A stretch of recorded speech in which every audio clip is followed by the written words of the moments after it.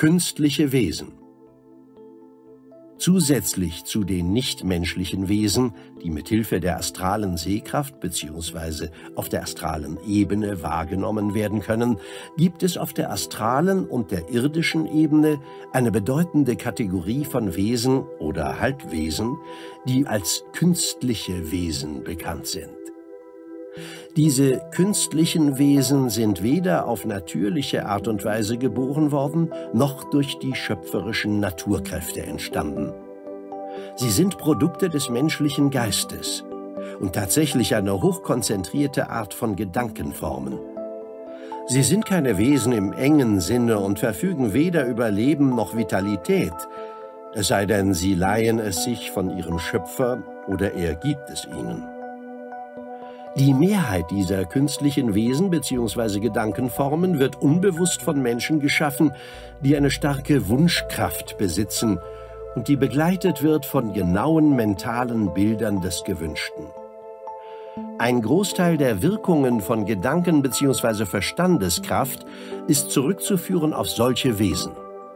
Kraftvolle Wünsche zum Guten sowie kraftvolle Flüche für Böses neigen dazu, Form und Anschein von Lebenskraft in Gestalt dieser künstlichen Wesen zu manifestieren. Sie unterliegen jedoch dem Gesetz der Gedankenanziehung und tauchen nur dort auf, wo sie auch angezogen werden. Zudem können sie neutralisiert und sogar zerstört werden, und zwar durch positive Gedanken, die auf die Art ausgerichtet werden, wie es alle fortgeschrittenen Schüler kennen. Eine weitere und ziemlich große Gruppe dieser künstlichen astralen Wesen besteht aus Gedankenformen übernatürlicher Wesen. Sie entstehen durch die kräftigen, geistigen, oft wiederholten Bilder ihrer Schöpfer, denen das Ergebnis oftmals nicht bewusst ist. Nehmen wir eine sehr gläubige Mutter. Sie betet, dass die Engel ihre Kinder behüten und beschützen mögen, und aufgrund ihrer starken religiösen Vorstellungskraft sieht sie bildlich, wie die himmlischen Besucher neben ihren Kindern wachen. Diese Mutter erschafft tatsächlich Gedankenformen solcher Schutzengel um ihre Kinder herum, die zudem einen gewissen Grad an Lebens- und Geistschwingungen von der Mutter erhalten. Auf diese Weise dienen die so erschaffenen Schutzengel dazu, die Kinder zu beschützen und sie vor Gefahr und Versuchung zu warnen. Viele fromme Mütter haben so durch ihre Gebete und innigen Wünsche mehr erreicht, als ihnen bewusst ist. Den frühen Vätern der westlichen und östlichen Kirchen war diese Tatsache bekannt, und sie geboten ihren Anhängern demzufolge, diese Form von Gebeten und Gedanken zu benutzen, auch wenn sie den Grund hierfür nicht erklären konnten. Selbst wenn sich die Mutter auf höhere Ebenen begibt, kann ihre liebende Erinnerung ausreichen, um diese Gedankenformen zu erhalten, sodass sie weiterhin ihre geliebten Menschen beschützen. Auf ähnliche Weise sind viele Familiengeister erschaffen und am Leben gehalten worden, indem eine ständig wiederholte Geschichte und der Glaube an ihre Existenz von Generation zu Generation weitergegeben wurde. Zu dieser Gattung gehören die berühmten historischen Geister, die königliche bzw. adlige Familien vor Tod und Leid warnen. Die vertrauten Familiengeister, die in den Gängen von alten Schlössern an bestimmten Jahrestagen wandeln, gehören gewöhnlich auch zu dieser Gattung, wenn auch nicht immer.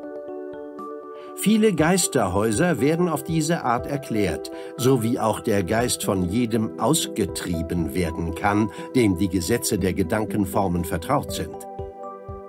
Man darf nicht vergessen, dass diese künstlichen Wesen allein vom Menschen erschaffen werden und ihr Aussehen und ihren Geist von der Gedankenkraft ihres Schöpfers erhalten.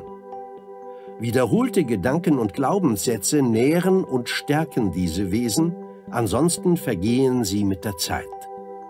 Viele übernatürliche Besucher, Heilige, halbgöttliche Wesen usw. So aller Religionen wurden auf diese Art erschaffen und in vielen Fällen durch den Glauben der Anhänger von Kirchen, Gotteshäusern oder Schreinen am Leben erhalten. In vielen Tempeln fernöstlicher Länder wurden die Gedankenformen von kleineren Göttern und Heiligen erschaffen und blieben durch kraftvolle Gedanken wie Gebete, Opfergaben und Zeremonien durch viele Jahrhunderte lebendig. Diejenigen, die an diese Kräfte glauben, werden in Einklang mit ihren Schwingungen gebracht und somit Gutes oder Böses bewirken. Die Kraft der Teufel indigener Völker, von denen einige praktisch Teufelsanbeter sind, entsteht auf die gleiche Art und Weise. Auch in der frühen Geschichte der westlichen Religionen findet man viele Hinweise auf das Erscheinen des Teufels und seines teuflischen Werks.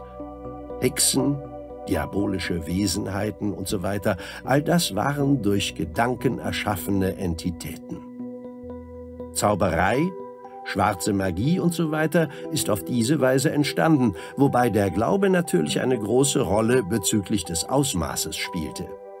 Die Voodoo-Praktiken aus Afrika und später Martinique sowie die Kahuna-Praktiken aus Hawaii basieren auf den gleichen Prinzipien.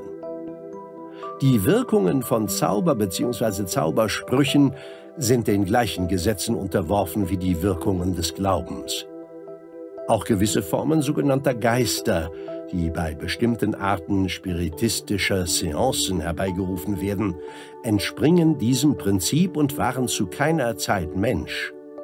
Das Verstehen dieser Ursachen hilft bei der Interpretation vieler rätselhafter psychischer Erscheinungen.